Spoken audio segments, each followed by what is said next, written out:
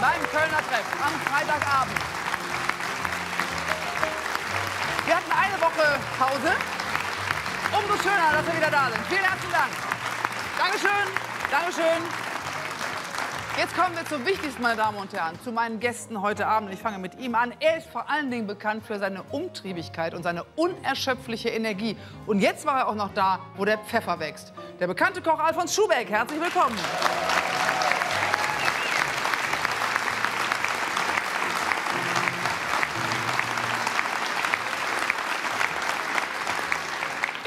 Bringe es auf einen musikalischen Nenner. Ein Leben ohne Jodeln ist möglich, wäre für Sie aber vollkommen sinnlos. Volksmusikstar Angela Wiedel, herzlich willkommen.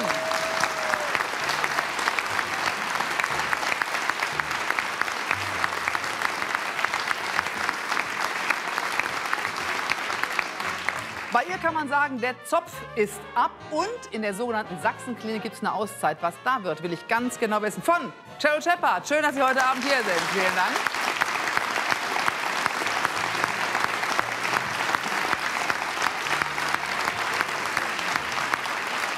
Er möchte sich nicht auf seine Behinderung reduzieren lassen. Das sagt der Mann, der vor Ideen nur so sprüht und in seinem Rollstuhl richtig Speed drauf hat. Das habe ich eben gesehen. Herzlich willkommen, Raoul Krauthausen.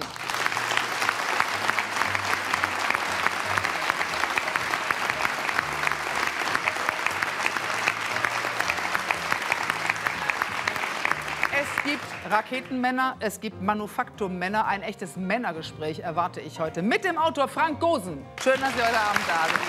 Danke.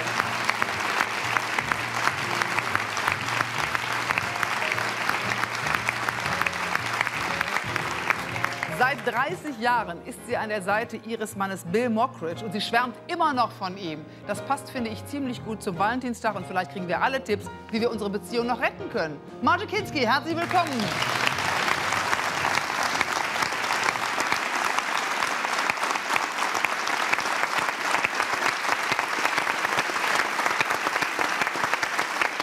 Erste eigene Programm hieß ja Kinski legt los. Jawohl. Das ist ja gelogen. Das war ja 2010. Kinski Ja. legt los ist die Losung seit ungefähr 30 Jahren im Ja, Springmaustheater. das stimmt. Ich frage mich, wenn ich einen Mann wie Bill Mockridge habe, bekannt durch Funk und Fernsehen in der Lindenstraße als Erich Schiller Mhm. Ja. und Regisseur, wenn ich sechs Söhne habe, wenn ich ständig auf der Bühne des Springmaustheaters rumspringe und so temperamentvoll bin und mein eigenes Leben, wie haben Sie den Überblick behalten? Ich habe den. Den Überblick hat man. Ich glaube, man kommt auf die Welt und hat den Überblick. Also gerade wenn du in Rom geboren bist. Und ähm, ja, das ist so. Und Die das, Römer haben den Überblick. Aber hallo. Sind Sie da schon mal mit dem Auto gefahren?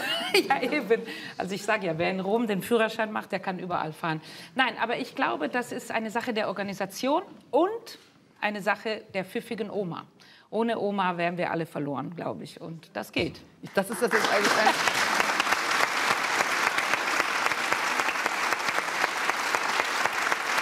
Das, das Stichwort Oma muss ich sofort aufnehmen, weil Ja. meine letzte Frage an Frank Gosen, wenn immer er hier ist, ist, was macht die Oma? Was macht die Oma? Oma ist äh, Ende Oktober 90 geworden. Wow. Äh, ja, ist, äh, der geht super. Der, geht, der hat sich wieder richtig bekrabbelt. Vor ein, eineinhalb Jahren gab es noch ein paar Probleme. Und jetzt äh, ist sie wieder auf dem Level von vorher. Heißt, säuft uns alle noch unter den Tisch. Ja, das ist ja klasse. Das ist ja toll. Schnäppchen dabei. Also mir hat vorhin eine Kollegin gesagt, als ich noch mal sagte, Mensch, sechs Söhne Ja. Margie und Bill. Mit einem Mann, das ist ja, da muss man da immer dazu sagen. Ja, das hoffe ich Das ist ja doch. witzig. Also das ist ganz wichtig. Ja, aber die sagte, mit zwei hat man wirklich für ein Leben genug zu tun. Ja. Das ist dann mal drei, wären sechs. Das ist toll. Also ich lebe mit sieben Männern, davon habe ich sechs selber gemacht. Das finde ich schon. Ja, aber, aber davon, die sechs sind ja jetzt die selber gemachten. Die selbst Ja. sind ja aus dem Haus. Ja, das ist super. Das Ja, was denn jetzt? Also die sind alle weg. Zwei sind in Köln und das sind, die kommen dann immer wieder, wenn sie pleite sind und Hunger haben. Und dann ist es. Aber wir haben jetzt die zwei Möpse zu Hause und wir verlieben uns gerade noch mal. Wir kennen uns wieder neu und haben für uns wieder Zeit und das ist toll. Aber Kann ich das- nur empfehlen. aber Schmeiß da raus. Ja, aber das ist aus dem Bau, aus dem Bau. Genau. Aber das ist ja was, was viele Leute ganz schwierig finden Ja. und damit auch hadern oder Ja. unglücklich werden. Da sind die Kinder die große Aufgabe auch einer Ehe, die Ja. sind aus dem Haus. Ja. Und dann stehen die da und, Und dann ist man endlich selber dran. Dann kann man endlich was für sich tun. Du bist ja jahrelang bist du immer am Fahren, am Abholen, am Bringen, am Geschenke einpacken, auspacken, Kindergeburtstag, was weiß ich, Lehrerzimmer, Lehrerkonferenzen, äh, Elternabende. Und jetzt sind wir alleine. Und das ist toll und das ist wunderschön. Und wenn wir von der Vorstellung nach Hause kommen, er von irgendwo und ich von irgendwo, dann treffen wir uns halb zwölf und dann ist es gefährlich. Dann wird noch gekocht, ganz schnell. Und Das sind die Italiener. ja, und das ist so schön. Und Ab das, welchem Alter darf man die denn rausschmeißen? Also, also, du schmeißt sie raus, wenn sie eigentlich selber können. Und also, Okay. sobald sie ihre Schule fertig haben. Und Also das 12 ist und ganz, 10 ist zu früh, ne? Das darfst du nicht. Das darfst du nicht, da, das wird dann verdächtig. Aber die italienischen Mamas, die behalten die ja bis die 40 sind. Das finde ja, ich ja genau. absolut krank. Nein, kaum haben sie ihr Abitur und irgendwie können sie selber machen, dann raus damit. Aber Margie, erschwerend kommt ja, Ja. dazu, dass alle sechs Ja. künstlerisch hochbegabt sind. Das ist schwer. Ja, oder Das ist ganz schlecht. Ich sage ja, kann da mal einer Elektriker werden, Bestatter oder irgendwie sowas. Das hat Sinn. Das hat Sinn. Aber diese, dieser Kunstberuf also ist sechs schwierig. plus die beiden Eltern.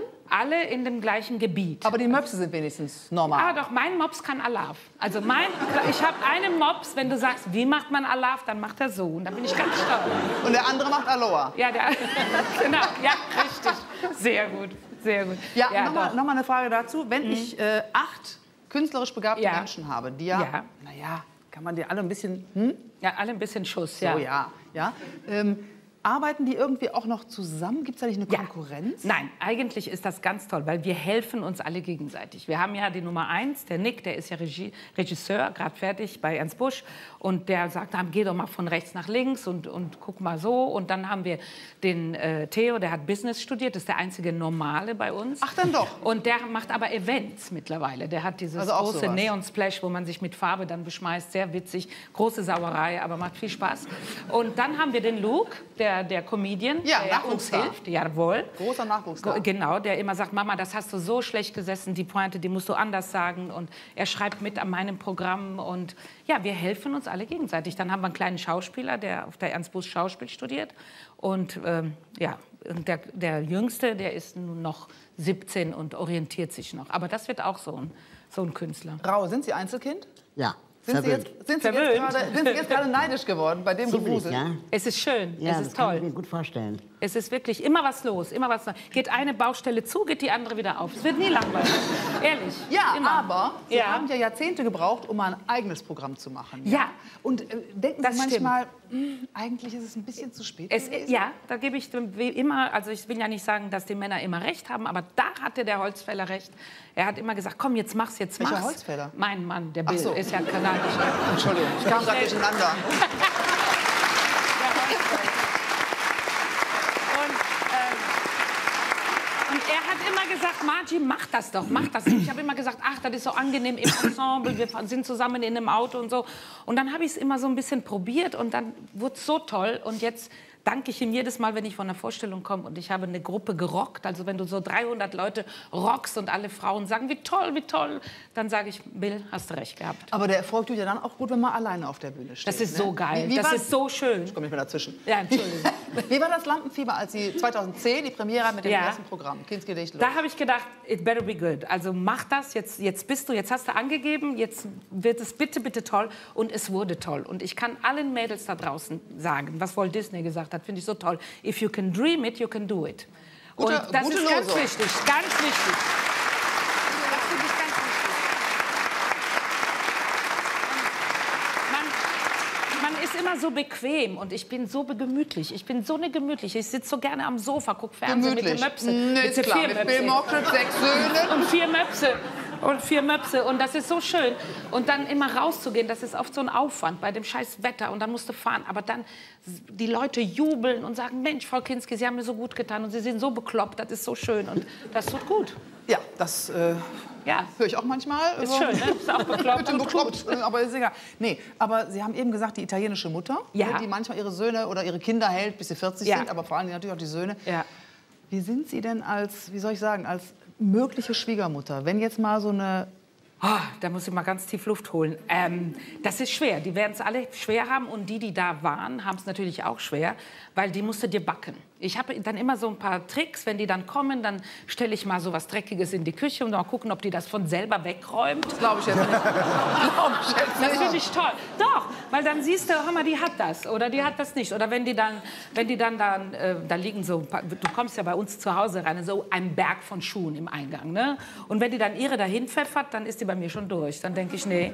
Aber wenn die sagt, oh, ich räume das mal schnell weg, dann denke ich, toll. Ich räume mal eben die du mal 40 Paar Schuhe zusammen. Bleib mal ein bisschen. Es ist schwer. Und als Mutter bist du die Queen. Ich bin es. Ich, wo ich bin, ist oben. Ich bin die Mama.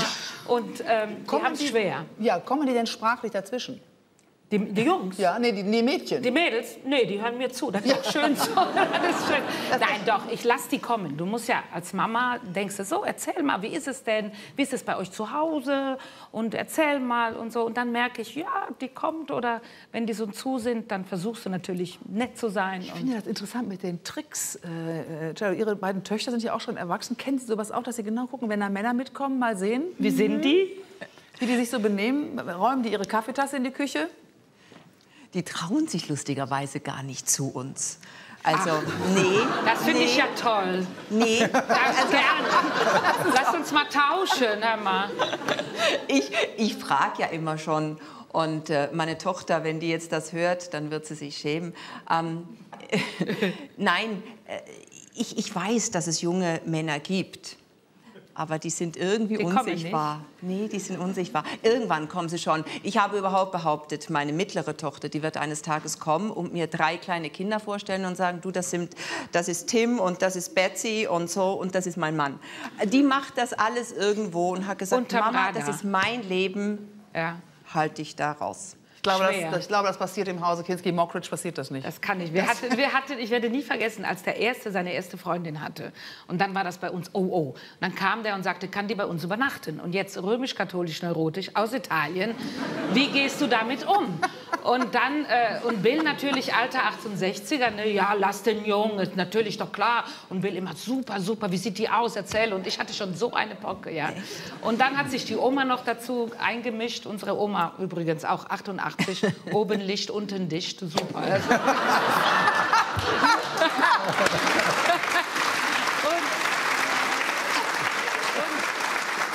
Und dann,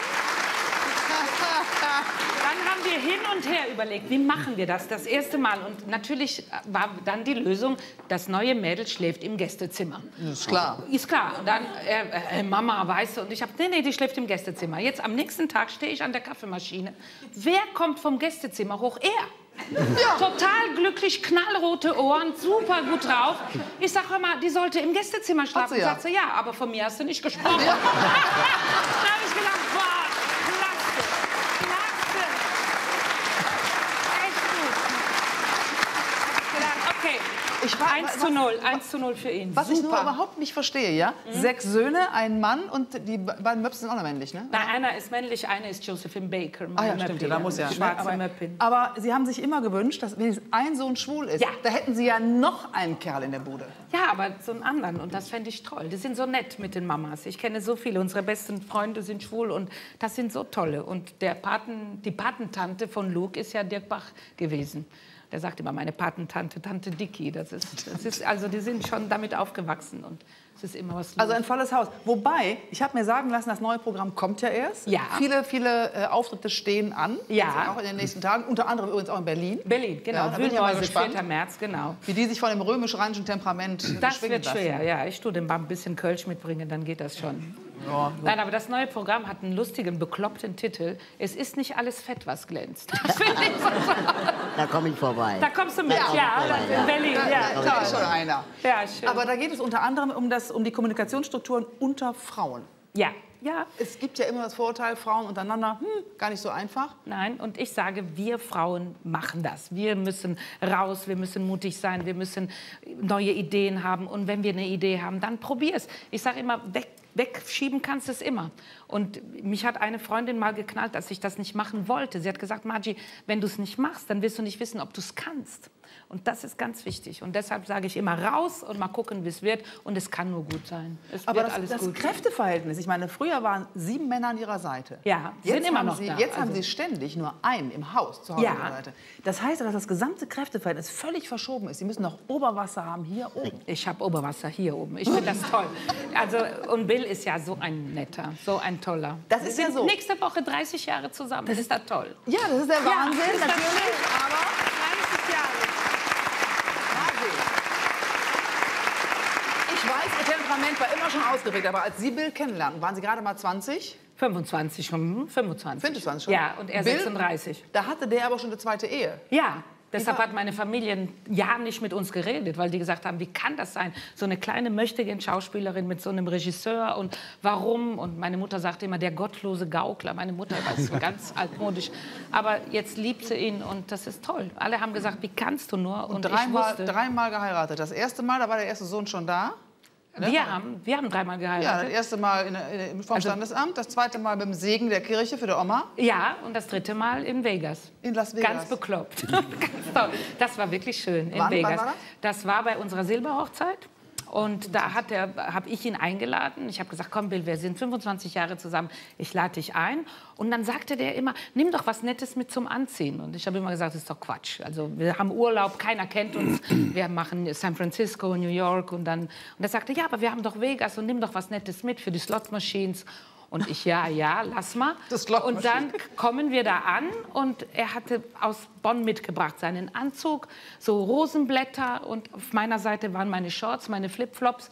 Und dann sagte er, sagst du heute noch mal Ja zu mir? Und ich habe das nicht gerafft. Ich habe gesagt, bist du bescheuert? Was ist das? Ich bin so müde, wir sind gerade Jetlag. Und dann stand eine Stretch-Limousine da und dann sind wir zu so einem Wedding Chapel gefahren. Und dann hatten wir Hochzeit Nummer drei mit Elvis, mit allem Gedöns. Und Und Moment, und Sie in Flipflops? ich im Flipflop und in einer kurzen Boots, völlig verpennt.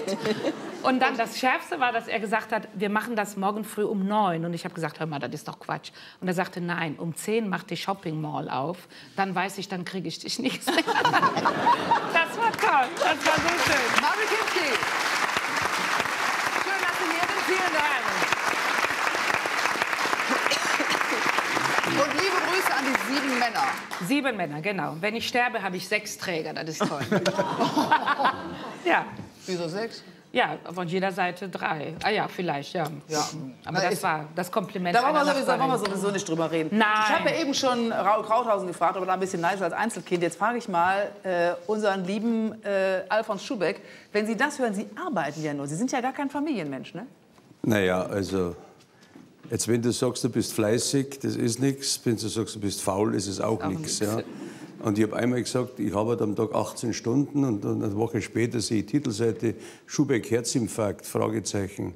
Dann denk ich, das mag ich, so einen Schmarrn erzähle jetzt nicht, das mag ich nicht mehr. Weil warum? Sie das, wollen heute gar nicht sprechen. ja, das kommt jetzt drauf an. Das ist ja schlimm. Aber das ist, das ist doch in der Gastronomie ganz normal. Jeder, der in der Gastronomie arbeitet, weiß, dass du nicht mit acht Stunden zurechtkommst. Und wenn du heute einen Beruf hast, den du mit Leidenschaft machst, kannst du nicht sagen, jetzt geh ins Bett. Also wenn jetzt du zum Essen kommst und dann... Oder gar äh, ich? Na du zum Beispiel, ja. Kann es Ich sein, dass du mal nach München Ja, kommst. Und dann sage ich, Servus, ich muss jetzt gehen, ich muss ins Bett gehen. Wirst du sagen, hast du eigentlich am Vogel? Du, jetzt sind wir extra gekommen und du gehst jetzt ins Bett. Das Aber das erfolgreiche Leben beruflich gesehen hat trotzdem einige Kinder hervorgebracht. Ja, ja, klar, sagen. das kann man ja noch nebenbei machen. So ist es. Darauf wollte ich hinaus.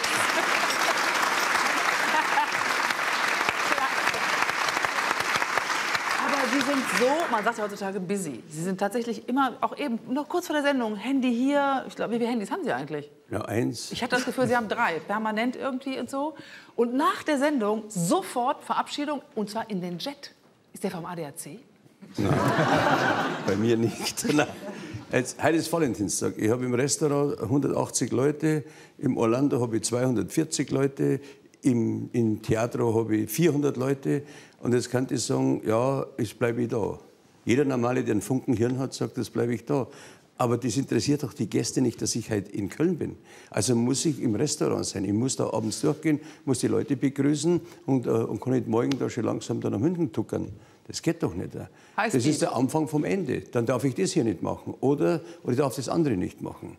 Und da gibt es oft so Sachen, da musst du halt schauen, wenn du das gut organisieren kannst, dann, dann funktioniert es auch. Also mir macht das überhaupt keinen Stress. Alfons Mir Schubeck. langweilt es. Ich sitze mir ins Auto, dann lass mich da hinfahren. Genau.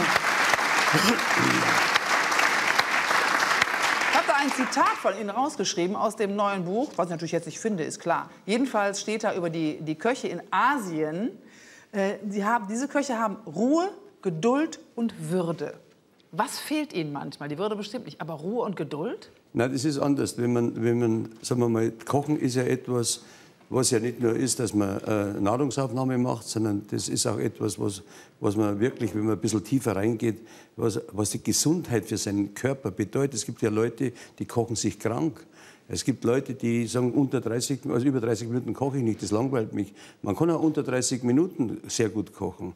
Aber diese Festtagsküchen, die wir in Deutschland haben, äh, Schweinebraten, Gänse, Enten, Kalbshaxen, was auch immer, das dauert. Und wenn ich so einem Gericht nicht die Zeit gebe, dann schmeckt es auch nicht. Und früher haben die Mütter ja zu Hause gekocht. Das war ja fast ein Beruf. Das ist ja heute nicht mehr möglich, weil meistens beide in die Arbeit gehen. Und dann kommt es darauf an, ernähre ich mich dann noch gesund. Jetzt, jetzt komme ich. Jetzt komme ich. Beim letzten Mal saßen Sie auf dem Platz, das weiß ich noch genau, weil ich kam Nein, nicht mehr ich dazwischen. da war ich. Ja, da? Also da, da drüben, ich kam nicht mehr dazwischen.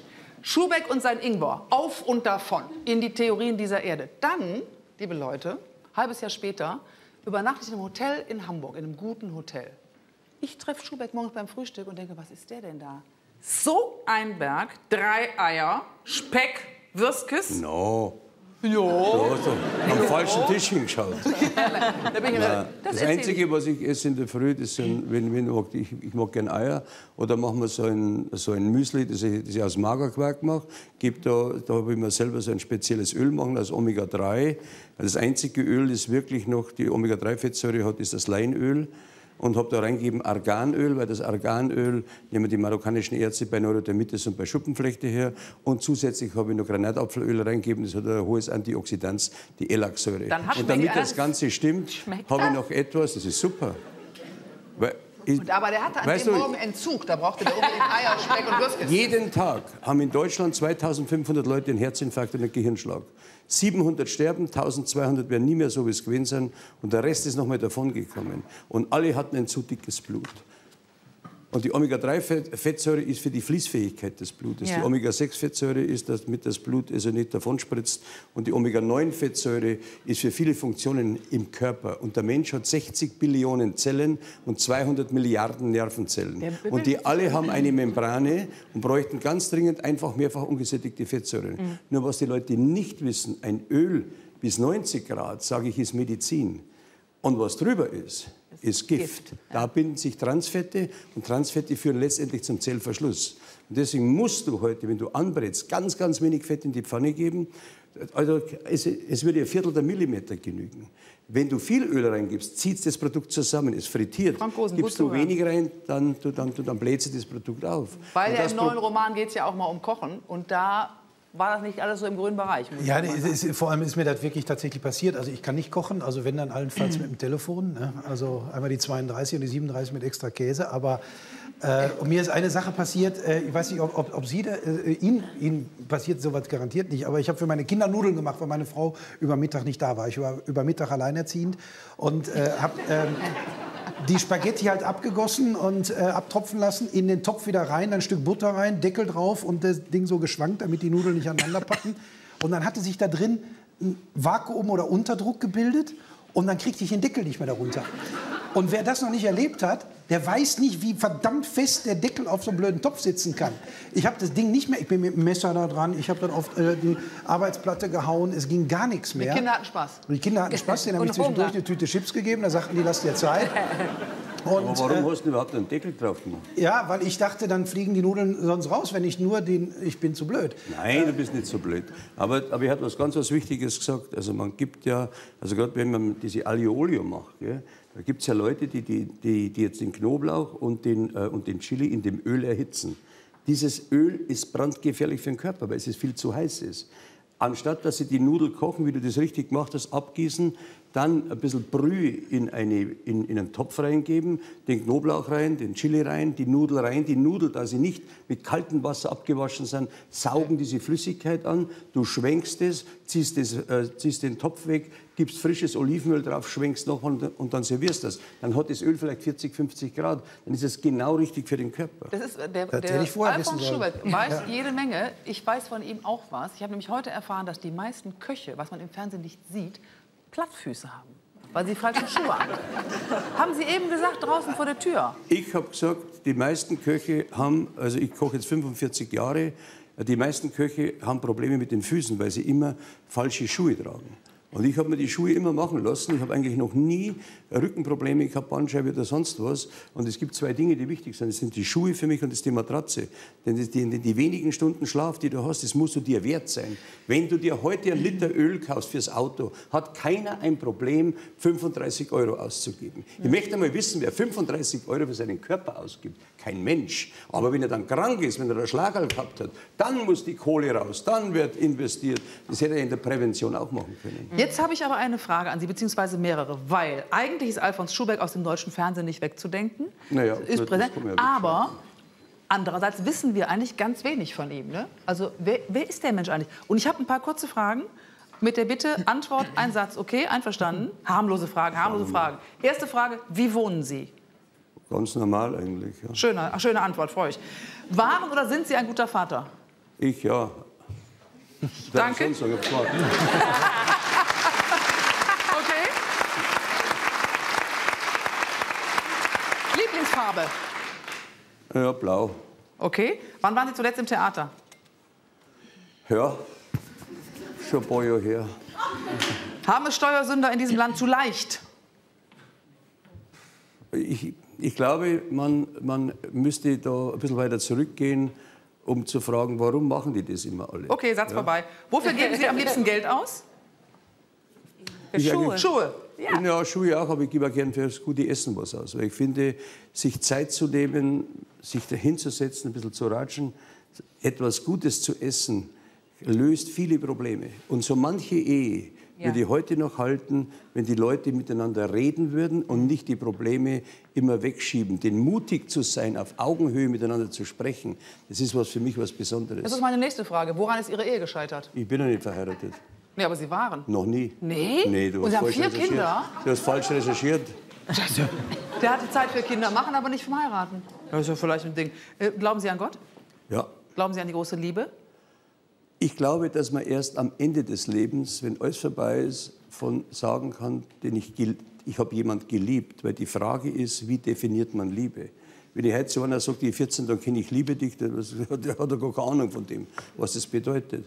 Aber wenn man mit tiefen Herzen jemand mag, das hat nichts mit Erotik zu tun, und das ein wirklicher Freund ist, und wenn du es einmal genau nimmst, du hast ja nur wenig Freunde auf dieser Welt, meistens brauchst du nicht mehr wie, wie fünf, die dir die geistige Hand reichen, wenn es dir einmal schlecht geht. Das kann nicht sein, dass dir die Mut zu sprechen, dass dir die im richtigen Augenblick das richtige Wort sagen und sagen, du packst es, mach das. Und, und auf jeden kannst du nicht hören, sondern du musst auf den hören, wo du das Vertrauen hast.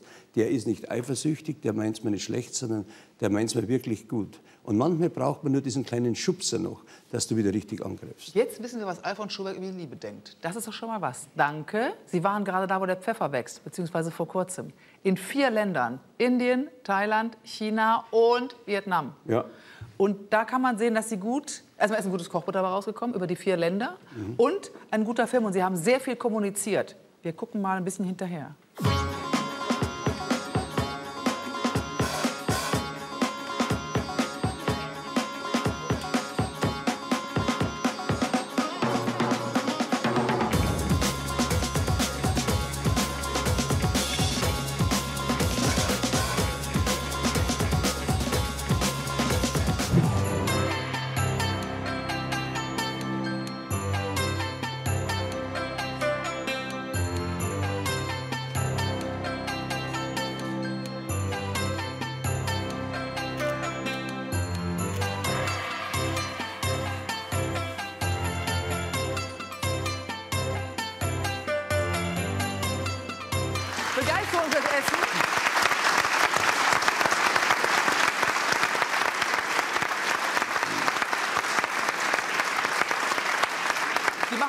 Üblicherweise keinen, keinen Urlaub in dem Sinne, sondern wenn Sie auf Tour gehen, dann geht es natürlich um Essen professionell. Ein gutes Kochbuch dabei rumgekommen. Welches war die Person, die Sie am meisten beeindruckt hat auf der Reise? Also das war der, äh, dieser indische Koch, der Gil, weil der, äh, also da, also ging es ums Tandoori-Kochen. Ja. Also Tandoori ist ein Ofen, der ungefähr 480 Grad hat. Und da haben wir Hähnchen gemacht. Dann hat er das Hähnchen genommen. Als erstes haben sie sich eine Paste gemacht aus Ingwer und Knoblauch. Denn wenn man und Knoblauch zusammengibt, dann riecht man nicht nach Knoblauch. Man hat zu 90, äh, zu, zu, zu 90 Prozent der Knoblauchverträglichkeit und die medizinische Wirkung von beiden Gewürzen geht um 50 Prozent nach oben. Das heißt, die haben das Hähnchen eingerieben und haben dann Joghurt drüber gegeben. Und haben es dann für drei, vier Minuten in den Ofen reingehalten, haben den Spieß dann wieder rausgezogen und an einen Haken gehängt, 15 Minuten gewartet, das gleiche wieder gemacht. Und dann war das Hähnchen außen total kross und innen wunderschön saftig. Ich So, sage, welche, Begegnung, da sagt er nicht, ein Mann hat ein Hähnchen, Was? hat Sie am meisten beeindruckt? Jetzt, ich bin ja noch nicht fertig. Ja, das fürchte ich auch. So, jetzt, jetzt, jetzt haben wir es gegessen. Dann hat er das Hähnchen da hingegeben. Dann habe ich so geschaut und gedacht, wann kommt denn das Besteck? Jetzt hat er mit, angefangen mit der Hand zu essen.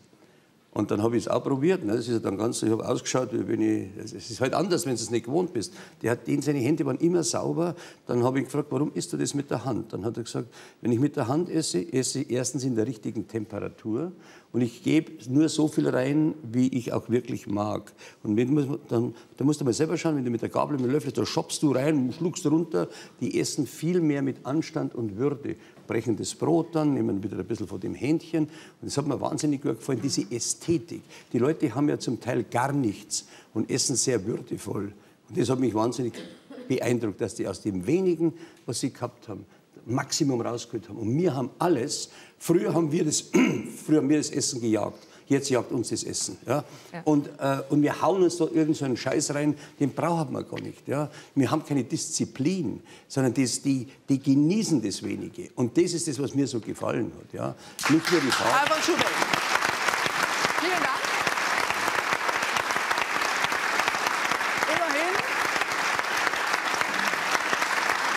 18 Stunden Tag, aber viel Lust nicht nur am Essen, sondern am Erleben, auch in fremden Reisen. Danke, dass Sie dabei sind, in fremden Ländern wollte ich sagen. Vielen Dank.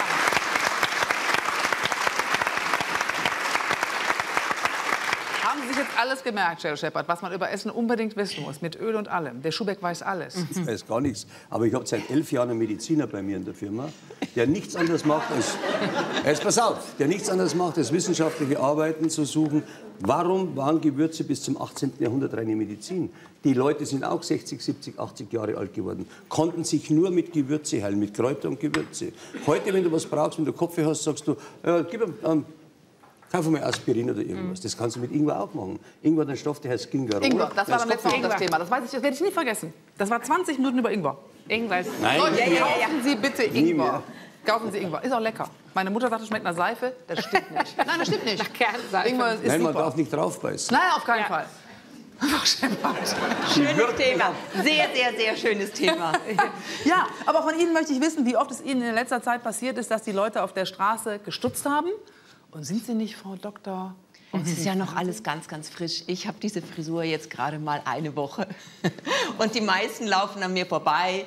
Und ähm, das ist auch sehr, sehr angenehm. Meine Kinder laufen so ein paar Schritte hinter mir und gucken. Und dann sagen sie, hm, hm, doch, du bist erkannt worden. Und das ist so ein Spiel. Es aber ein das Spiel. ist ja wirklich eine ist Typveränderung, wenn eine Frau irgendwann sagt, so, meine langen Haare kommen jetzt runter und ich habe den Mut und ich will jetzt eine Kurzhaarfrisur.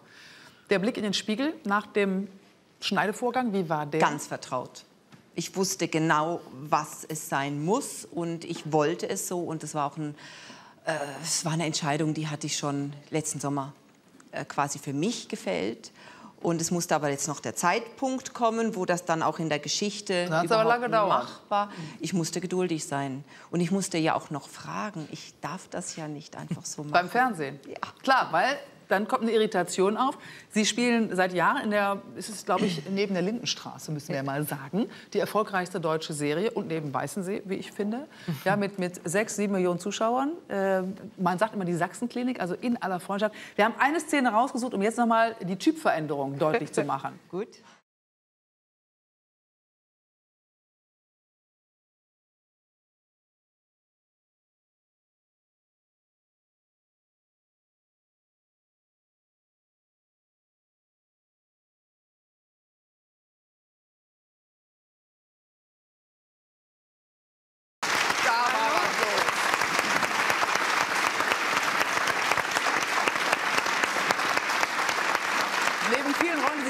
Ist das natürlich eine Erfolgsrolle, weil das so viele Menschen sehen. Da fällt mir einfach mal ein, Herr Krauthausen, Sie haben vorhin gesagt, Sie haben überhaupt keinen Fernseher.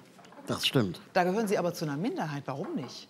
Ich glaube einfach, dass ähm, ich einer anderen Generation angehöre. Also ich konsumiere, wenn dann, Mediatheken ähm, oder so Video-on-Demand-Dienste. Ähm, aber ich habe ich hab auch einen DVB-T-Empfänger, aber ich benutze ihn einfach nie. Wie ist das denn mit den Söhnen? Gucken die auch kein Fernsehen? Gucken die Wenig. Die sind alle an ihren Laptops und, und äh, ja, es, so ist das. Es ist wirklich auch diese Musik. Das ist ja alles in so kleinen Dingern und ja, fertig. Ist schon, Oder? Mein Sohn musste vor zwei Monaten erfahren, dass ich nicht weiß, wie unser Fernseher angeht. Sie wissen nicht, wie ein Fernseher angeht. Ich weiß es jetzt.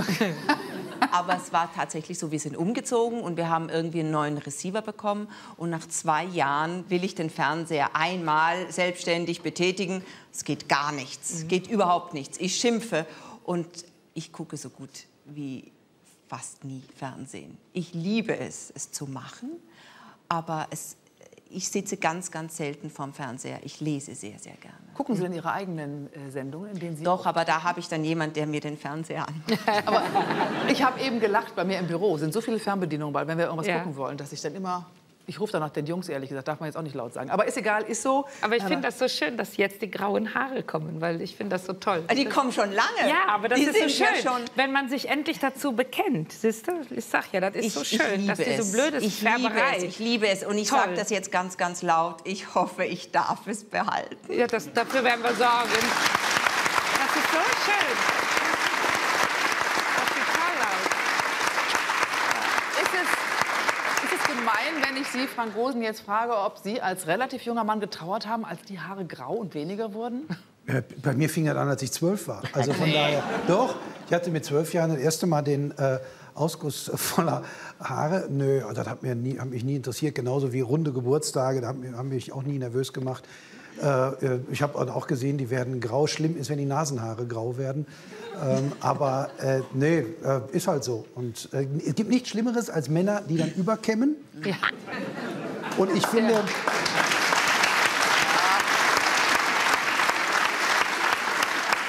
Also man, man, manchmal, wenn ich manchmal auf der Bühne äh, sage ich, ich warte jetzt, dass die auf dem Rücken so lang werden, dass ich die. Aber äh, und ich finde auch kein Mann sieht mit Glatze so blöde aus wie mit äh, Toupet, die meisten jedenfalls. Deshalb. Äh, Oh, manchmal weiß man es ja. gar nicht. Manchmal weiß man es nicht.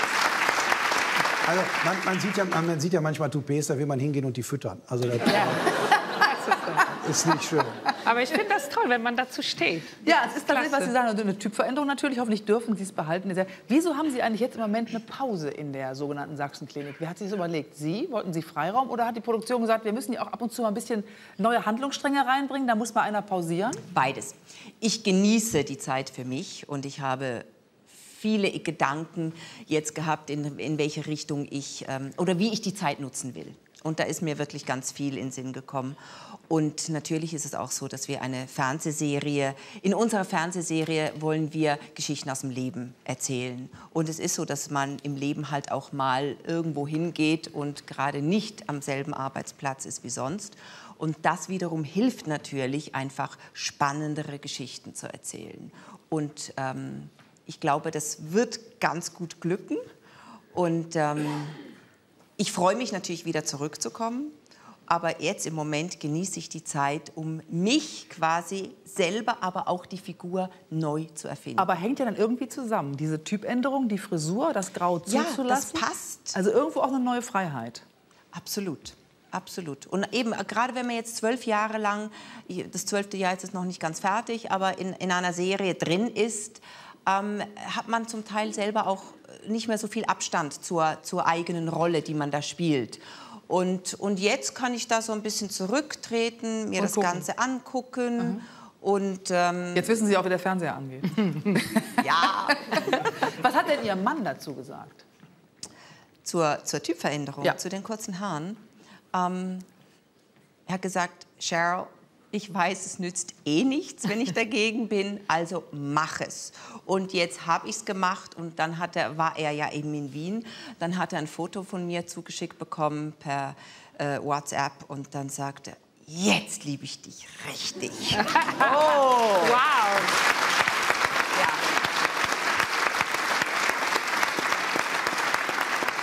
Sie haben ja ein, ein tolles Familiengebilde. Ich würde sagen, also wenn Sie mal ein bisschen frei haben, kann das ja nicht schaden, weil da so viel in dieser Patchwork-Familie zusammenhängt. Aber was ich irgendwie bemerkens- und bewundernswert fand, war, dass Sie ganz offen darüber gesprochen haben, dass Sie mit Ihrem Mann schon länger eine Paartherapie machen. Weil Sie sagen, ja, aber man muss sich ja auch kümmern und professionell drauf gucken kann nicht schaden. Vor kurzem war Uwe Ochsenknecht da, der hat das auch mal Ja. kurz, nur kurz versucht. Die Ehe ist ja jetzt auch geschieden. Ja. Ähm, Hat nicht geklappt. war nicht, war nicht Schlecht so rausgegebenes Geld.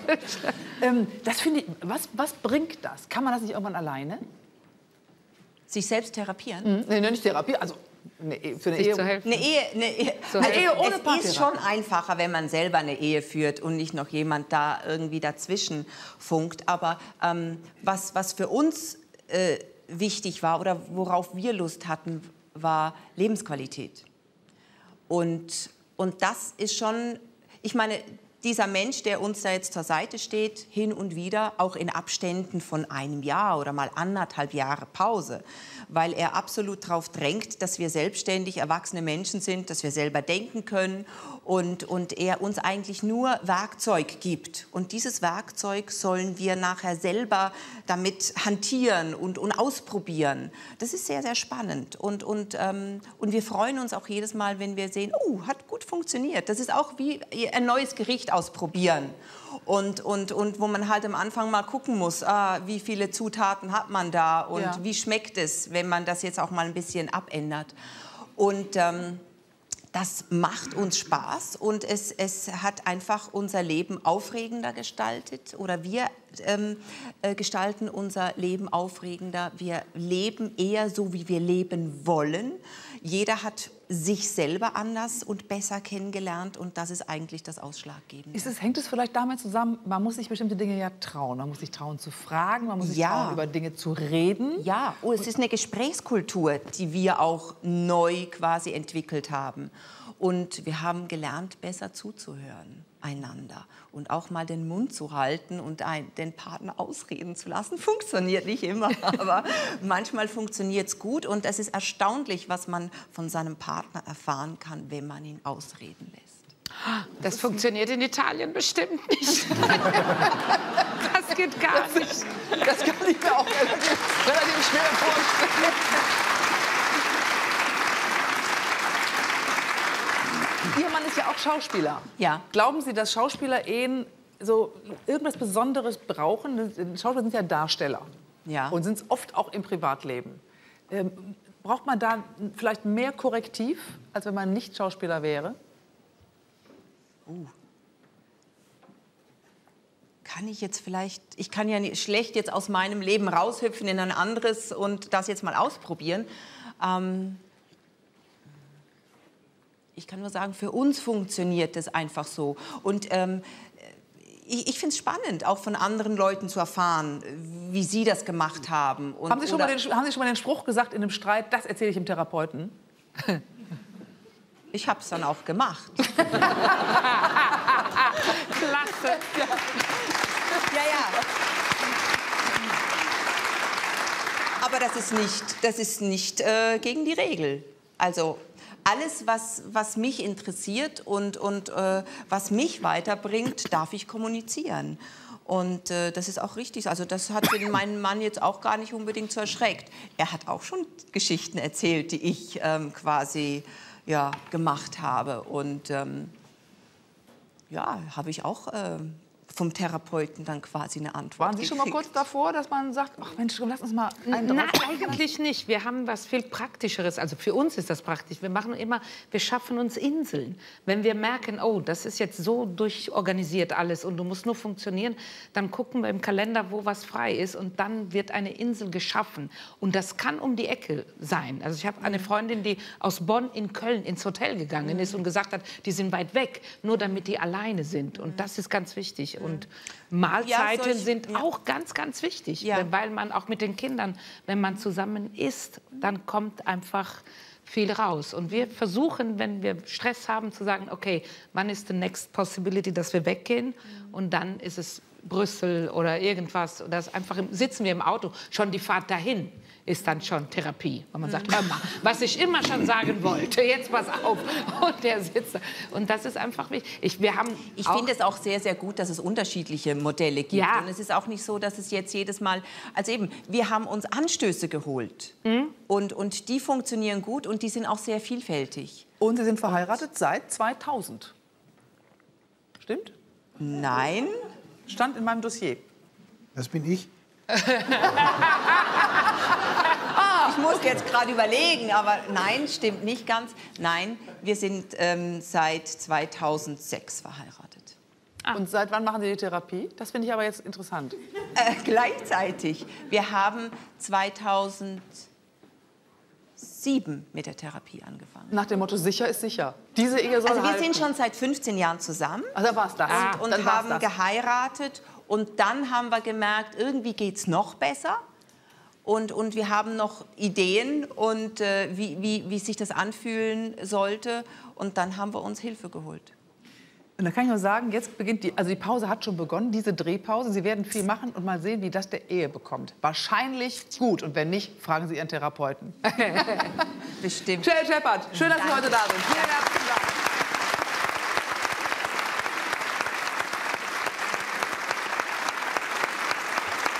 Ja, da wissen wir ja schon, Frank Rosen seit 2010, ver- seit 2000 verheiratet, ja? Genau am 24. August. Das war auch der erste Spieltag der Bundesliga 1963. Und da hatten Sie Zeit zum Heiraten? Ja, das war damals ja kein Jubiläum, aber ich dachte, pack das auf den Tag, den du dir merken kannst. Ah, Sehr Das war auch unser Jahrestag. Das ist gut. 63, ah, da war ich im ersten Schuljahr. Ähm, was sind Raketenmänner? Ja, normalerweise denkt man, Raketenmänner sind die, die alles wunderbar auf die Reihe kriegen und eben abgehen wie eine Rakete. In äh, meinem neuen Buch sind eben genau das die Männer, die äh, an einem Punkt in ihrem Leben sind, in diesen Geschichten, wo sie sich auch mal fragen, wo bin ich falsch abgebogen? Und äh, da geht es gar nicht so raketenmäßig in die richtige Richtung. Das ist eine super Kernfrage in dem neuen Buch von Ihnen, das eben Raketenmänner heißt. Und diese Kernfrage ist, bist du der geworden, der du sein wolltest? Die Frage nehme ich auf. Bei mir, ich, das kommt immer darauf an, welchen äh, Teil meines Lebens ich äh, betrachte. Äh, beruflich gesehen kann ich sagen, ja, schon nah, nah dran. Es läuft. Es läuft. Sobald äh, ich zum Beispiel beim Thema Fußball lande, sage ich, da ist noch sehr viel Luft nach oben. Als Anhänger und äh, Funktionär des VfL Bochum. Ähm, und sofort wird gekichert, ich höre das. Äh, ja, und dann wird einem über den Kopf gestrichen, du armer Junge, ich weiß. ähm, also das, das kommt dann äh, darauf an. Und, äh, aber beruflich äh, kann ich sagen, ja. Ich wäre aber, wär aber gerne geduldiger. Ich glaube, das wird, wird auch meine Arbeit äh, noch mal verbessern. Aber ich bin so ungeduldig. Ja, gut, aber ich meine, auf eines haben Sie sicherlich lange warten müssen, aber es ist passiert und insofern sind Sie ein Raketenmann, ein richtiger. Es gibt jetzt Panini-Bildchen von Ihnen. Eins jedenfalls, ja. Ich habe es, äh, wie durch einen Zufall, habe ich es mitgenommen. Nein. Ich habe Nein. hab ausgerechnet. Also,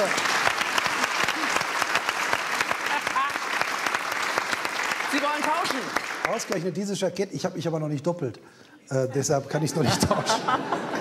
Und, Margie? Zwei Atze Schröder gegen einen Frank Ja, Rosen? gerne. Das ist Granate. Es gibt ein, äh, es gibt ein wunderbares Panini-Sammelalbum über das Ruhrgebiet. Revier sammelt Revier. Und äh, da bin ich drin. Einerseits mit dem Bild und andererseits mit meinem Spruch, woanders ist auch scheiße.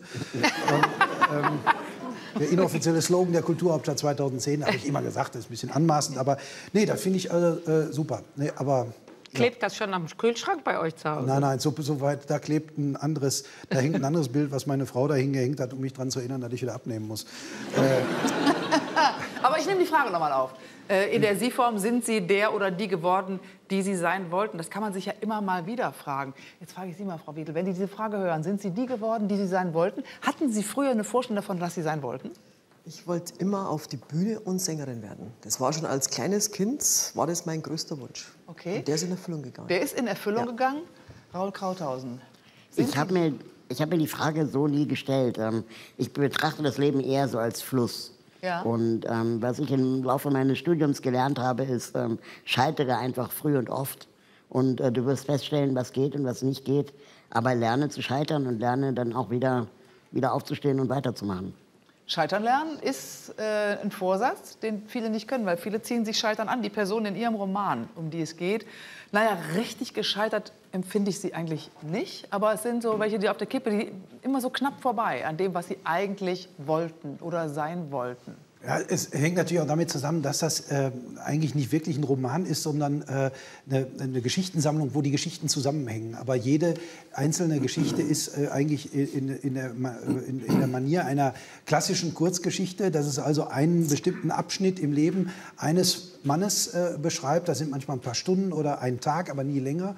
Und äh, da, da, passt man die dann an einen Punkt ab, wo sich vielleicht gerade was verändert, wo sie sich über was klar werden oder was auch passiert, wo eben einfach nur äh, was Witziges passiert, wie mit dem äh, Spaghetti-Topf. Äh, ja. die, die, Geschichte, die ist ja noch... Das, eigene Geschichte. Das ist eine eigene ist Geschichte, die ist ja noch so weitergegangen, dass ich dann irgendwann meine Schwiegermutter anrief. Da sagte ich mir, die ist 68 Jahre alt und seit 69 Jahren Hausfrau und habe die gefragt und die sagte eben kaltes Wasser und äh, das stimmte natürlich nicht. Man muss dann erhitzen, damit es äh, sich wieder ausdehnt und ich rief sie dann noch mal an, äh, nach einer, nachdem ich eine Stunde mit dem Topf rumgemacht hatte und sagte, von wegen kaltes Wasser und sie gönnen mir doch den Spaß.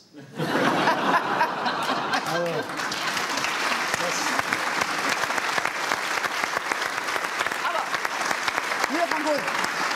Jedes Kapitel fängt mit dem Namen eines Mannes an. Alle? Und, ja, alle, sag ich doch. Ich habe gerade gesagt, jedes Kapitel. Ach, jedes, Entschuldigung, ja. dieses habe ich verstanden. Nee, nee, jedes Kapitel. Super. Und ich habe ja. mal ein paar rausgeschrieben. Kamerke, Frohnberg, Kobusch, Krupke, Sabulewski, Overbeck, Riedel. Wie kommen Sie auf die Namen? Ja, über Namen mache ich mir unglaublich viele Gedanken, weil ich finde, es müssen immer Namen sein, die es gibt, die nicht ausgedacht sich anhören. Äh, und äh, die, die jetzt nicht Jasmin Schneider oder was weiß ich, ich nehme die oft aus Todesanzeigen. Also äh, es ist so. Das ist, äh, manchmal gehe ich auf Telefonbücher hat man ja heute nicht mehr. Aber in den Todesanzeigen in der Bochumer Zeitung springen mir dann schon mal Namen entgegen. Ich habe einen Namen in dem Buch äh, von dem Namensschild einer Verkäuferin in einem Kaufhaus in Hamburg. Äh, aber das habe ich dann einem Mann untergeschoben, den hm. Namen. Und äh, es müssen Namen sein, die es wirklich gibt, die aber noch nicht so abgenudelt sind. Bei Vornamen äh, wenn, äh, achte ich immer darauf, welche Generation ist das. Dann gucke ich im Internet äh, nach, die beliebtesten Vornamen von 1972 oder so. Man kann es dann natürlich auch komplett anders machen, aber dann muss es ja auch wieder was über die Figur erzählen. Dann muss er, wenn einer 1972 sein Kind Leon genannt hat, dann ist er was anderes als 2002. Wie heißen Ihre Söhne? Robert und Ludwig. Ah, die sind in den 50er Jahren geboren. Sind, äh, Robert, Robert, ist, Robert ist völlig zeitlos. Robert taucht immer irgendwo in den Namen auf. Ludwig ist schon ein bisschen äh, gewagter, aber das Kind war auch schon im Mutterleib klar, der ist auch gewagt. kennen, kennen, kennen Sie ähm, Fanny van Dann, den ja, selbstverständlich. Mhm. Oh, Hausmann, sieh doch endlich ein, eine Einbauküche kann kein Cockpit sein. ja, mein Lieblingssong von Fanny van Dann ist Gwendolyn Kucharski. Oh ja, auch großartig. großartiger Name. Ja. An dich denke ich jetzt. Damals hatte ich niemand auf 14 äh, geschätzt. Du warst noch ein Mädchen und ich war noch kein Mann. Und wenn der Beatabend vorbei war, hielt der Zug nach nirgendwo an. Ich ritzte in die Schulbank, deine, deine Initialen, Initialen, das war die Liebe in Nordrhein-Westfalen. Nordrhein oh.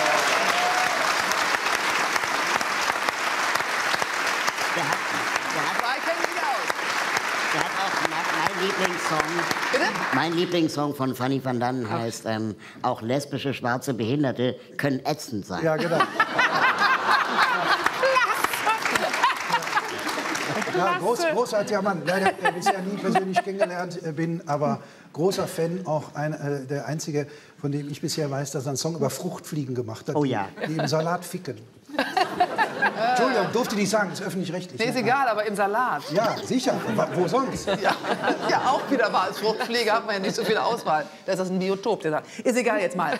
Wenn wir eben bei Männertypisierung waren und haben uns erklären lassen, was ein Raketenmann eigentlich ist, also der, der einer sein wollte, aber es nicht ganz geschafft hat, was ist denn bitte ein Manufaktummann? Den haben Sie nämlich auch beschrieben. Ja, das ist, ich habe halt mal so gesagt, Manufaktum, Manufaktummänner sind das Schlimmste. Das sind die, ich soll aber jetzt bei der Weihnachtsfeier von Manufaktum in Waldrop auftreten, finde ich auch wieder lustig. Aber äh, das, das, sind die, die eine Religion daraus machen, dass alles so unheimlich geschmackvoll ist. Und dann zieht man sich diesen tonnenschweren Pullover an, der aber von, teuer, teuer, teuer, der teuer, teuer ist. und natürlich von behinderten philippinischen Kindern handgedengelt worden ist. Und äh, ich denke dann immer, ich muss mit dem Ding dann rum. Ja, ist alles, ist alles toll, alles prima und über offenen Feuerstelle in der Küche. Ähm, aber äh, man muss auch keine Religion draus machen. Und äh, die, dieses Geschmäcklerische, da geht mir manchmal auf den Zahn. Aber Ende des Jahres werden Sie Manufakturmann, wenn Sie in Waldrop da, ne? Ja, ja, ich finde halt ja super, dass die sich davon nicht abhalten. Ja, vielleicht kriegst du so einen Pullover geschenkt. Hat sich doch Ich nehme gelohnt. erstmal Geld, dann können Sie noch was oben. Das, das, das ist der Lohn. Ja, dieses Männergespräch, war es eigentlich früher, war es früher einfach, es ist die Diskussion immer mit den Männern heutzutage, war es früher einfacher, ein Mann zu sein? Ist es heute schwieriger oder warum haben Sie dieses Buch geschrieben über so viele Männer in der Midlife-Crisis? Ich Sind weiß Sie drin? Ich habe hab mich, nee, ich hab mich nicht hingesetzt und habe gesagt, ich will ein Buch über Männer in der Midlife-Crisis schreiben. Ich hab, ähm, man geht ja eher davon aus, man hat eine Idee, man, hat eine, man möchte eine Situation, eine Atmosphäre beschreiben. Und äh, so eine Geschichte lebt immer halt vom Konflikt. Und der Konflikt, äh, da ist auch ein junger Mann drin, der äh, jetzt einen Vinylplattenladen äh, aufmacht. Also von dem kann man nicht sagen, dass er in einer Midlife-Crisis ist. Also ähm, Sie brauchen für Literatur halt immer ein- äh, einen ein Konflikt, um den es sich dreht. Und äh, da es Kurzgeschichten sind, ist es dann halt äh, manchmal auch nur auf 15 Seiten sehr eingedampft. Hatten Sie eine Midlife-Crisis irgendwann mal, Herr Schubeck? Nein, ich habe keine Zeit gehabt. Weil ich finde, man sollte sich seiner Aufgabe stellen. Und von dem Augenblick, wo ich mich der Aufgabe stelle, habe ich einen positiven Gedanken. Und wenn man nicht neidisch ist, weil was soll ich in dem neidisch sein, wenn jetzt sie viel erreicht hat im Leben, kann ich nichts äh, ändern. Ich brauche nicht neidisch sein. Ich brauche mich nur selber anstrengen, dann kann ich selber wieder was zu was bringen. Und Reichtum findet nicht im Geldbeutel statt, es findet in der Seele statt. Da sich aber die meisten Menschen damit nicht auseinandersetzen, sehen sie nur das Materielle. Und dass es Männer gibt, die jetzt sagen, fix mal, der andere hat was, ich habe nichts. Die Frage ist, was hat denn der andere? Ich kenne jemanden, der ist irrsinnig reich und hat Demenz und Alzheimer. Der weiß nichts mehr, der weiß gar nichts mehr. Dann ist doch der viel reicher, der noch am Leben teilnehmen kann und in seinem Umfeld sich bewegt. Und mit dem Fahrrad kann man genauso glücklich sein, als wie mit einem Leasing Porsche, wo du deinen muskellosen Oberarm raushängst und noch drei Liter Benzin drin hast. Aber es ist vielleicht. Naja, aber die, die, die Mittelalterkrise ist ja ein großes Thema. Es reden viele Menschen darüber, dass sie so orientierungslos sind. Habe ich genug erreicht? Bin ich der, der ich früher sein wollte? Ja, nicht nur bei Männern. Ist es bei Schauspielerinnen auch ausgeprägt, weil sie natürlich auch in dem mittleren Alter im Bereich kommen, wo sie fragen, "Hm, werde ich weiter besetzt? Das ist ja so ein Existenzdruck in ihrem Beruf.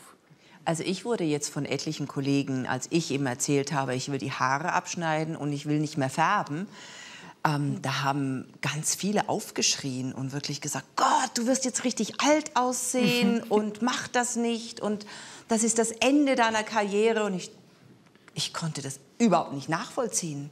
Also ich persönlich ähm, denke da anders und ticke da auch anders und will auch gar nicht so ticken. Äh, diese Ängstlichkeit, ähm, diese Ängstlichkeit würde mich kaputt machen. Und ähm, ich hoffe, dass, also dass andere auch ähm, irgendwann sich mit ihren grauen Haaren anfreunden Ja. und sich einfach wohlfühlen. Also es ist, ja. Also steht Ihnen auf jeden Fall äh, ganz toll. Das ist toll. Wenn ich auf diese Frage, die des Buches zurückkomme, ja, bist du der, der du sein wolltest, welche Rolle spielt der Fußball in Ihrem Leben heute, wo Sie so engagiert für den VfL Bochum kämpfen? Fußball spielt äh, eine irrsinnige Rolle in meinem Leben. Einerseits durch den VfL, andererseits aber auch durch die Tatsache, dass ich ja zweieinhalb Jahre auch noch Jugendtrainer in einem kleinen äh, Verein in Bochum bin, bei DJK Arminia Bochum, wo ich die Mannschaft von meinem älteren Sohn äh, trainiere. Das äh, kollidiert schon mal am Wochenende. Morgen zum Beispiel das Spiel gegen St. Pauli vom VfL kann ich nicht gucken, weil wir gegen SV Bommern 05 unser erstes Rückrundenspiel äh, bestreiten. Ähm, also das ist schon, äh, das nimmt schon sehr großen äh, Raum ein, weil man zweimal in der Woche wird trainiert. Dann habe ich äh, Termine beim VfL, dann habe ich Termine bei Arminia und äh, aber das ist das Tolle an einer Existenz als Freiberufler, man kann sich ja bis zu einem gewissen Punkt auch selber einteilen. Und das ist auch kein Stress. Ne? Während Sie auch sagten, äh, also wenn ich, äh, ähm, äh, für mich gibt es nichts Schöneres, als bei leidlich gutem Wetter bei Arminia auf so einem Kreisligaplatz zu stehen. Da kann ich auch fünf Stunden da rumstehen, mir erstmal ein eigenes Spiel angucken, dann die C-Jugend und dahinter die Altliga. Also das ist schon äh, eine, eine prima Sache. Also selbst wenn es mal mit den Kids ein bisschen anstrengender wird. Und jetzt äh, würde ich mir gerne von Ihnen erklären lassen, wenn Sie sagen, hm, ich möchte in 20 Jahren der sein und gucke dann mal in 20 Jahren, ob ich der bin, den ich sein wollte. Gibt es da eine Vorstellung? Der möchten Sie in 20 Jahren sein? Nee, im Prinzip sehe ich das ja wie Raul Krauthausen, da muss schon alles so ein bisschen so ein Fluss sein. Und äh, wenn ich mir jetzt was vornehme und dann werde ich das nicht, dann werde ich was anderes, das kann ja auch toll sein. Ich, ich weiß es nicht. Äh, äh, wie gesagt, manchmal würde ich mir ein bisschen mehr Geduld bei mir wünschen, ein bisschen mehr äh, Ruhe, aber dann weiß ich auch wieder, meine Ungeduld ist auch, ähm, macht mich zum Beispiel auf der Bühne auch viel spontaner und äh, äh, das äh, hat alles, es sind immer die zwei Seiten einer äh, Medaille. Ich würde mir nie was vornehmen. Ich habe mir früher was gewünscht. Da sind viele Sachen von äh, wahr geworden. Ähm, äh, aber ich würde mir jetzt nicht vornehmen. Ich möchte in 20 Jahren, sagen wir mal, ich kann es mir nicht vornehmen, aber ich wünsche mir, dass äh, mein Verein dann wieder besser dasteht. Und, äh, Haben wir Zeit? Frank Rosen. Vielen Dank, dass Sie heute da sind. Ich musste jetzt eben hier so Lutschbonbon nehmen, weil ich irgendwie Kratzen im Hals hatte. Ich hoffe, das geht jetzt einigermaßen. Ingwer, Ingwer, vielleicht hat er Ingwer. Wenn ich Angela- immer erkältet bin, sagen sie, da gibt's was, das heißt Ingwer. Da denke ich mir, du Blödmann. Ja, aber das gibt halt, ich, ich, ich nehme seit 35 Jahren Ingwer. Ich war noch nie einen Tag im Leben krank. Echt? Nie. Ich war auch erkältet. Aber ich war noch nie flach gelegen. Und Salbei ist auch geil. Ja, ja, gut, das ist natürlich, Salbei muss man mögen, das ist ein bisschen bitter. Es gibt ja hunderte Sorten von Salbei. Es gibt einen einzigen Küchensalbei. Das wissen aber die wenigsten und das ist ein ganz ein tolles Gewürz. Sagen Sie mal, Herr Schubeck, wenn Sie so gesund leben und so gesund essen, wieso haben Sie einen Burger bei McDonald's rausgebracht? Weil ich dir eine Soße dazu gemacht habe aus Ingwer, die, Die sehr war super gesund gesund. war. Alles klar. So, jetzt aber zu Ihnen, liebe Frau Wiedel. Als Sie das letzte Mal da waren, das war Anfang des Jahres 2010, haben Sie von Ihren Schicksalsschlägen erzählt. Eine bekannte, eine, eine gefeierte Sängerin der Volksmusik, eine große, große Jodlerin, ihre Spezialität, das ist schon was ganz Außergewöhnliches, weil man es so beherrscht. Und dann habe ich damals schon gedacht, mein Gott, was hat diese Frau alles ertragen? Den Tod der kleinen Tochter, ähm, einen schweren Unfall, Krankheit, dann ist die Ehe gescheitert. Ein Punkt, von dem man dann sagt, vielleicht haben Sie irgendwann gedacht, da geht nichts mehr im Leben. Und im selben Jahr noch haben Sie geheiratet, 2010, einen Mann, den Sie schon lange kannten. Und wenn ich Sie 2011. heute 2011. Und wenn ich Sie heute sehe, ich habe mit den Zahlen nicht so. Und wenn ich Sie heute sehe, sind Sie eine strahlende Persönlichkeit. Was hat Ihnen die Zuversicht gegeben, dass doch irgendwo alles gut wird? Also meine Oma äh, war die eine, Oma. na, weil meine Oma die war Oma. wirklich eine ganz ähm, gläubige und bodenständige Frau und die hat immer gesagt so Mädel, es geht immer nach vorne. Also es geht immer, wenn es auch mal runtergeht, aber wenn du glaubst und wenn du gläubig bist, dann findest du auch wieder den Weg zurück. Diese Geschichte mit Ihrem Mann, mit dem Sie jetzt glücklich verheiratet sind, ist schon insofern besonders, als Sie ihn so viele Jahre kannten. Ja. Er war ein Kollege, Freund, irgendwo auch Begleiter. Aber Entschuldigung, die Frage ist nicht indiskret gemeint. Wie kann es nach so vielen Jahren funken? Ja. Man, ich kenne den Uwe jetzt 25 Jahre. Und ähm, wenn wir uns als Kollegen gesehen haben, haben wir uns immer gefreut, dass wenn ich gewusst habe, die Schäfer sind in der, äh, auf der Bühne dabei, dann war das immer ein Hallo. Es war immer ein schönes Zusammenarbeiten. Und ähm, als dann, wir waren auch freundschaftlich verbunden, also ich mit seiner Familie, er mit meiner Familie. Und äh, hat sich auch ab und zu mal getroffen, mal zum Bergsteigen oder wie auch immer mit den Familien. Und wo dann meine Ehe zu Ende gegangen ist, gescheitert ist und auch seine Ehe gescheitert ist. Und irgendwann mal gab es einen Punkt, wo wir auf Tournee waren und wir haben ja auch, es gibt wenig Kollegen, mit denen man sprechen kann. Aber er ist so einer, mit dem konnte ich sprechen. Weil man eben auch äh, sich austauscht und sagt, Mensch, wie geht's mit deinen Kindern oder wie bist du mit meiner Tochter gegangen? Und dann hat es irgendwann mal gefunkt. Das ist was, ich glaube, was ganz Tolles. Wenn das so passiert.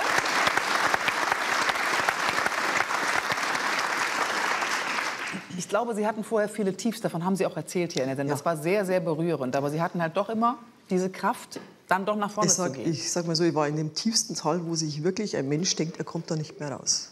So tief war das Tal. Aber ich bin wieder nach oben gekommen. Also ich habe sehr viel äh, Spaziergänge gemacht in der Natur und mir hat auch meine Musik geholfen. Also ich habe dann später dann wieder angefangen mit Kirchenkonzerten.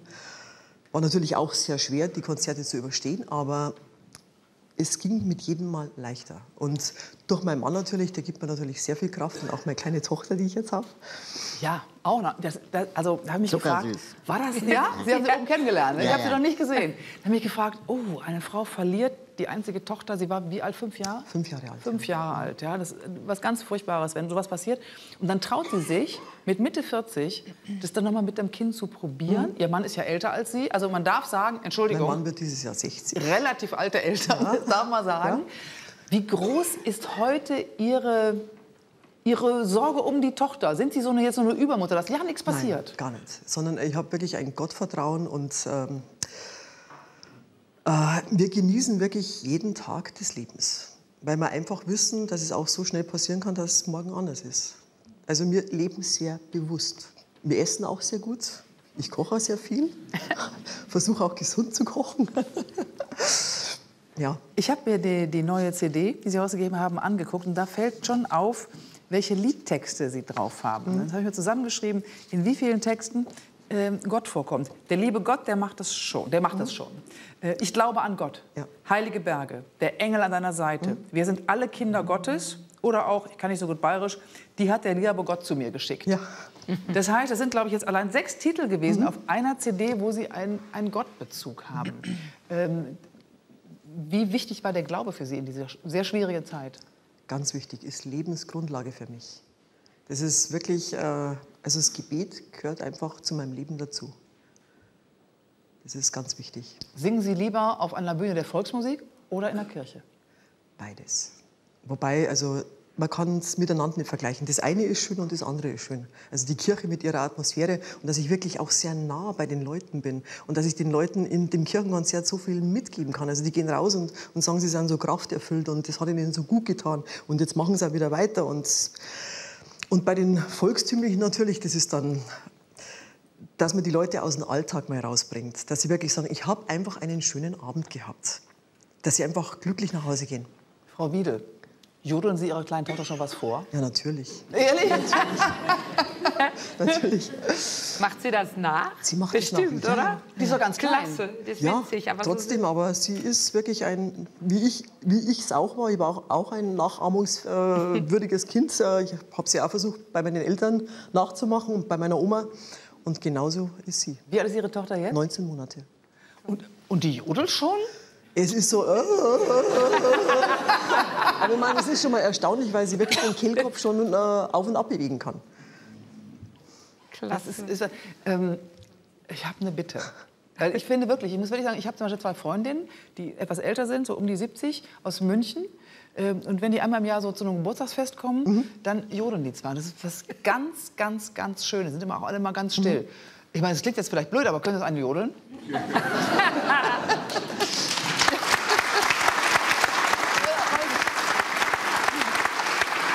in dieser Region kann das ja keiner so richtig.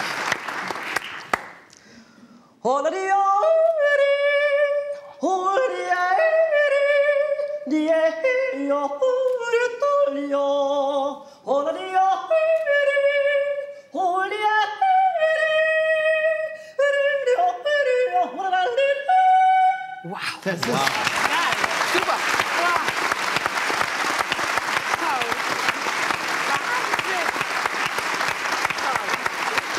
Sag mal.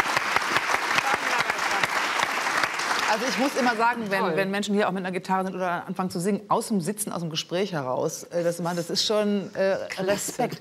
Man hat aber gerade gemerkt, welche Kraft auch dahinter steckt. Ja? Was das, ich weiß nicht, ob die, die Kollegen vom Ton vor Schreck ein bisschen runtergedreht haben, weil die Leute zu Hause denken, jetzt ist der Fernseher plötzlich laut. Nein, das ist ja ganz, ganz, ganz kraftvoll.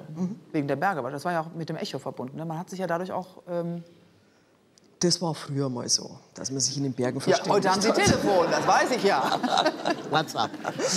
Oder, oder WhatsApp, sonst irgendwas. Ja, aber es ist so eine Art, es ist eine Urstimme, ist das einfach. Aber da Eine kraftvolle da Urstimme. Gänsehaut. Das Ja. war wunderschön. Das Interessante, Sie sind ja schon ganz früh, also mit Ihren Eltern haben Sie ja schon Musik gemacht, vor allen Dingen mit Ihrem Vater. Ja. Und ähm, ich weiß nicht in welchem Alter, aber ganz früh sind Sie mal auf Tournee durch Mexiko. Mexiko, Japan. Und das Erstaunliche ist auch, Sie werden da auch ähm, gejodelt haben. Ja, natürlich. Was? Ja. Ja. Äh, wie Menschen, egal wo auf der Welt, darauf reagieren. Erinnern Sie das noch? War das auch so eine Initialzündung? Hier will ich bleiben, da kann ich Menschen Also erreichen? egal, wo ich bis jetzt auf der Welt war, die Leute waren begeistert und äh, kamen her. What a beautiful voice, oder? Das ist, sie sind einfach irrsinnig berührt und begeistert. Kann man das auch als Flachlandtiroler lernen? Da muss man erst einmal eine gute Stimme dazu haben. Ja. Das ist mal Gibt es eigentlich eine Grundvoraussetzung. Jodlerschule auch? ne? Ja, gibt's. Ich glaube, der Takeo Ishii hat einen in Japan aufgemacht. So was Das gibt's schon. Jodeldiplom. Ja, Wollte ich gerade genau. sagen. Lodion, von Lodion, genau. Aber Sie haben ja auch eine ganz tolle, wenn ich es sagen darf, Sprechstimme. Mhm. Muss man sagen. Also es gibt ja Menschen, die haben nicht so eine tolle Sprechstimme, aber können wunderbar singen und, Mhm. und umgekehrt. Bei Ihnen ist beides. Also das Kind Das ist, ich sage mir immer, eine sehr schöne Laune der Natur. Ich singe auch fast vier Oktaven, das ist ja auch sehr ungewöhnlich, und dann eben diese tiefe Stimme, diese Tiefe und dann diese extreme Höhe, die ich habe. wo, wo sind Sie ausgebildet worden? Ähm, ich habe keine Ausbildung. Ich habe mal versucht, eine Ausbildung zu machen, eine klassische, äh, dreimal sogar. Und äh, jedes Mal wurde ich weggeschickt, weil die Lehrer gesagt haben, äh, ich müsste das Jodeln aufgeben. Aber ich gesagt, das gebe ich nicht auf, das ist meine Leidenschaft. Und ich bin auch heute froh, weil ich habe wirklich eine unverfälschte Stimme und natürlich habe ich kleine, äh, äh, sage ich mal, Macken in der Stimme, aber die kann ich selber ausmerzen, sodass keiner mitbekommt. Das merkt nur ich selber. Ja, das ist auch gut so. Ja. Ein Star der Volksmusik und ähm, ich freue mich darüber, dass Sie im Leben jetzt so viel wirklich wahres Glück haben. Dankeschön. Ich danke Ihnen sehr herzlich, dass Sie heute da sind. Angela Wiede, vielen herzlichen Dank.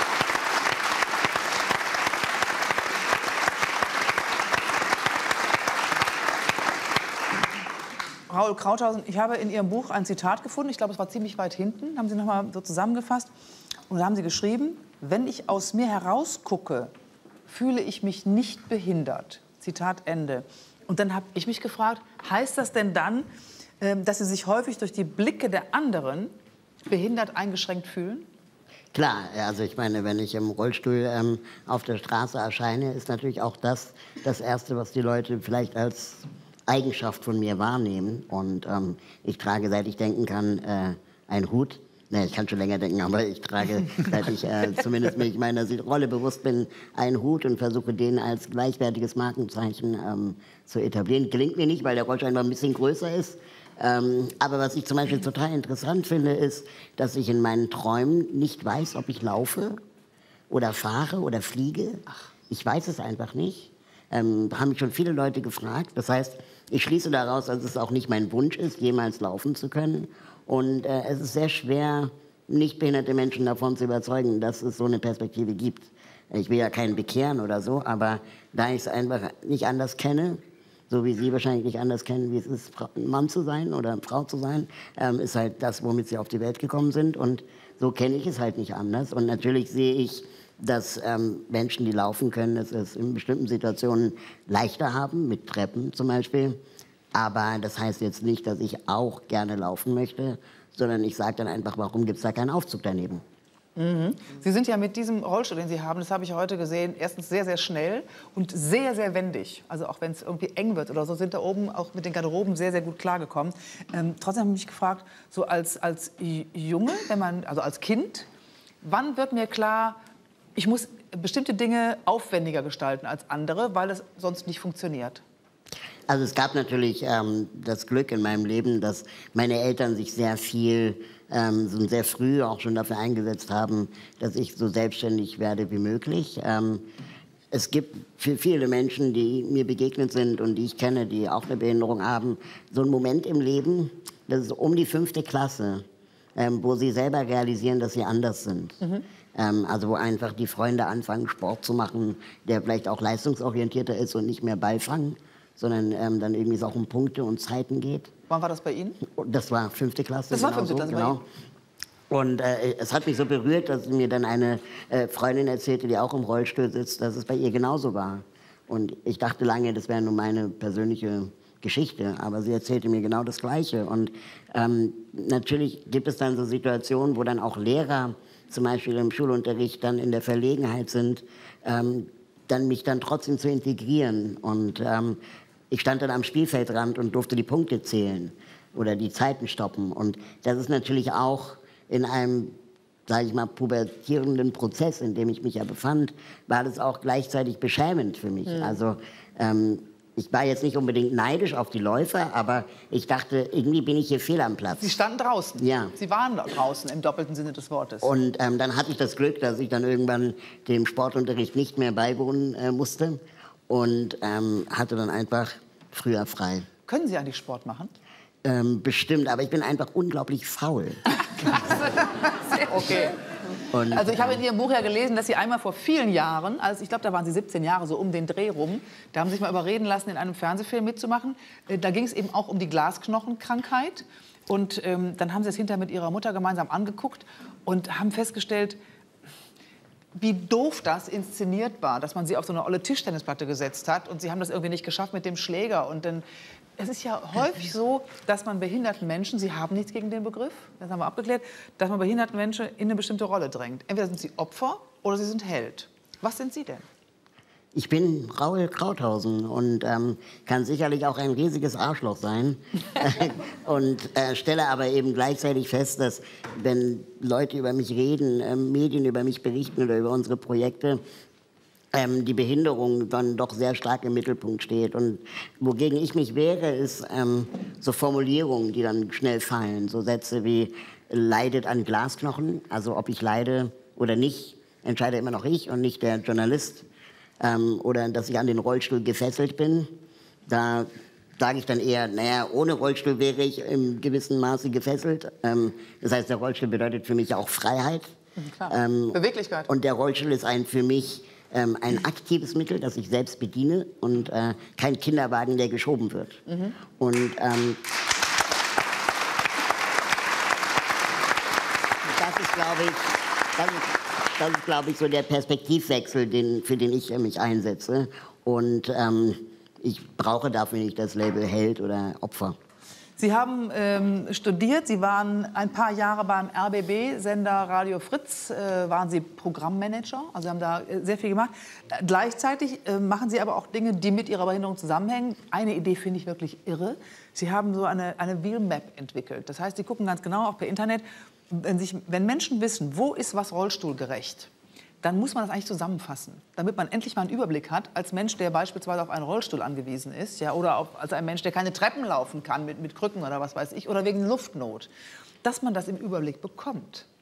Und äh, die die Sozialhelden sind eine Initiative von Ihnen, ein Verein, der was genau will. Sozialhelden ist ein toller Begriff, ne? Also die Sozialhelden ähm, ist ein gemeinnütziger Verein, der seit ungefähr zehn Jahren sich engagiert ähm, und die Idee hat, soziale Innovationen äh, ins Leben zu rufen. Und ähm, wir bezeichnen uns selber als sogenannte Do-Tank, also Macherschmiede. Das heißt, wir wollen Dinge einfach machen. Nicht und Think Tank, Genau, und nicht nur denken. Ja. Also wir sagen immer, wir wollen ähm, verhindern, dass eine Idee ihren PowerPoint-Tod stirbt. Ja, sondern wir wollen sie auch wirklich dann umsetzen. Und äh, das zwingt uns dazu, dass wir uns auch mit unseren eigenen Ideen irgendwie disziplinieren. Und ähm, ich habe mal eine sehr interessante Regel gelernt ähm, von einem ähm, Unternehmer, der mir gesagt hat, löse nur Probleme, die du selber hast. Und löse nicht die Probleme, die du glaubst, die andere haben.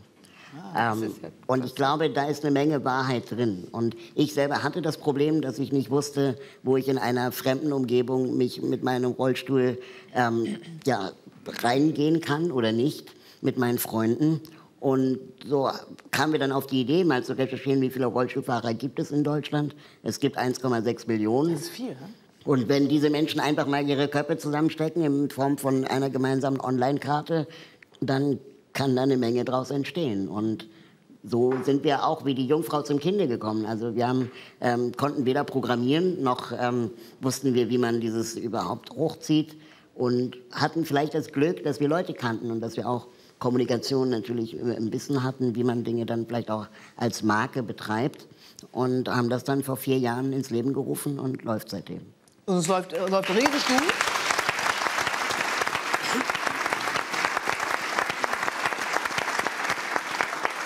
Sie stellen in Ihrem Buch eine Forderung auf, die Sie auch sonst im Leben aufstellen, nämlich, dass man im Grunde genommen Behinderteneinrichtungen eigentlich konsequent schließt. Sie setzen auf die totale Inklusion.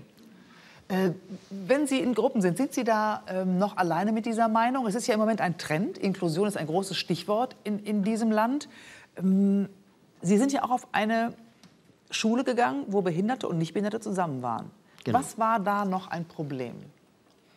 Ich glaube, da war ähm, einfach ein Problem, dass es die einzige Schule in Berlin war, die das gemacht hat. Ähm, da, dass zu wenige Leute davon wussten. Inzwischen ist die Idee natürlich weit verbreiteter. Ich ähm, bin deswegen ein Anhänger dieser sage ich mal, radikalen Idee, dass man es einfach sofort schließt. Ähm, weil ich glaube, sonst findet keine Veränderung statt, wenn es nicht Menschen gibt, die das fordern.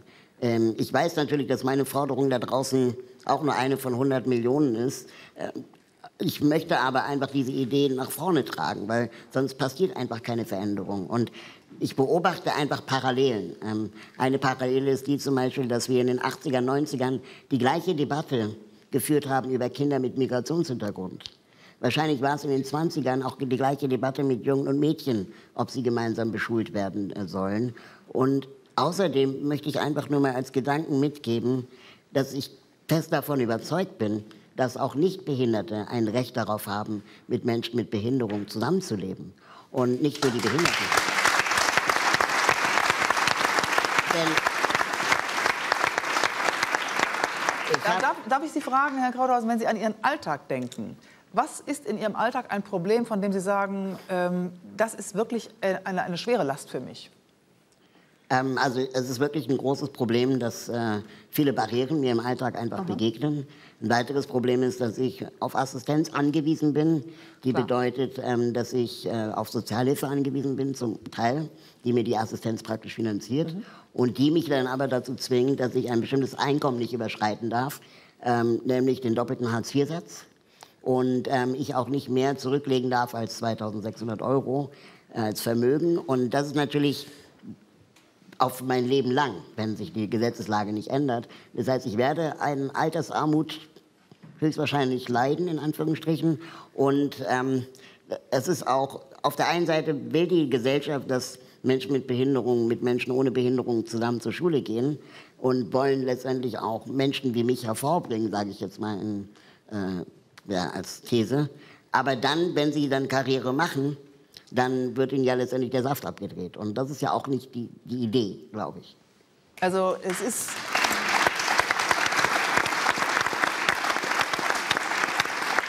Wir haben jetzt noch mal einen kleinen Film über Sie gemacht, wo wir Sie in Ihrem Alltag sehen und wo wir auch Projekte sehen, hinter denen Ihre Ideen stecken.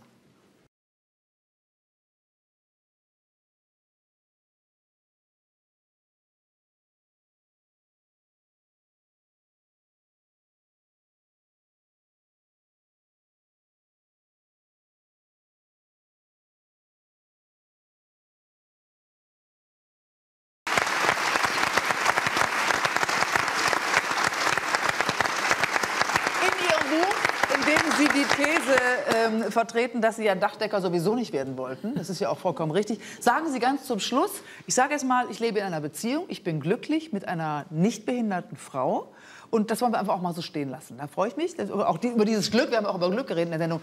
Aber eine Frage habe ich zum Schluss. Kennen Sie einen guten Behindertenwitz? Ja, kenne ich sogar. Ähm, muss ich mich ein bisschen bewegen? Was ist das? Margie? Ich weiß es nicht. Ich Ein Rollstuhlfahrer beim Bogenschießen. Ähm, was ist das? Ein Rollstuhlfahrer beim Tennis spielen. Ja, beim Diskusweitwurf, also ich bin halt ein bisschen kleiner. Aber was ist das?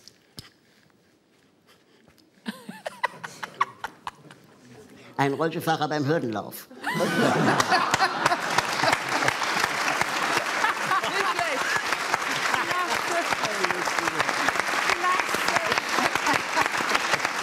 Meine Damen und Herren, das war der Kölner Treff heute Abend. Raul Krauthausen, vielen herzlichen Dank. Dank auch an alle anderen Gäste. Ich hoffe, Sie hatten eine vergnügliche Zeit hier mit uns heute Abend. Nächsten Freitag sehen wir uns wieder. Schauen Sie auf die Homepage, da stehen viele Infos. Schönes Wochenende. Bis dahin, tschüss zusammen. Dankeschön.